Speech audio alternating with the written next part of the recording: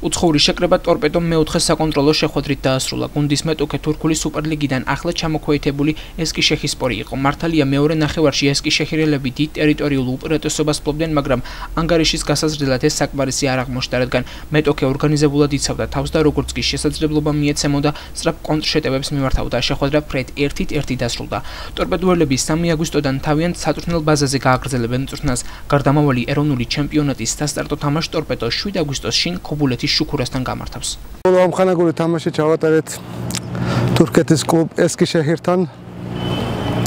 დღევანდელი თამაში და საერთოდ ყველა თამაში ჩვენთვის ძალიან მნიშვნელოვანი იყო, ესე თამაშები ზრის გუნდს ყველა მიმართულებით, რომელიც ფეხბურთში არის, რა თქმა უნდა, პირველ რიგში ტაქტიკური, ფიზიკური კონდიციების ამაღლების თვალსაზრისით.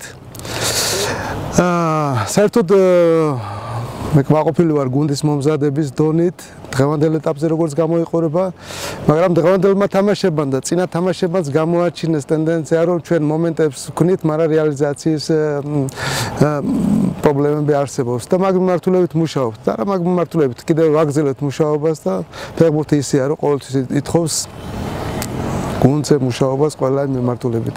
ნუ დღეს უკვე ამ თამაშს მე მომგზავრებით ქუთაისში.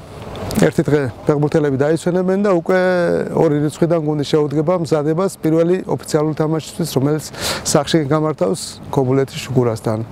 და იმედია გუნდი მომზადებული ხდება ამ თამაშს ყველანაირი თვალსაზრისით.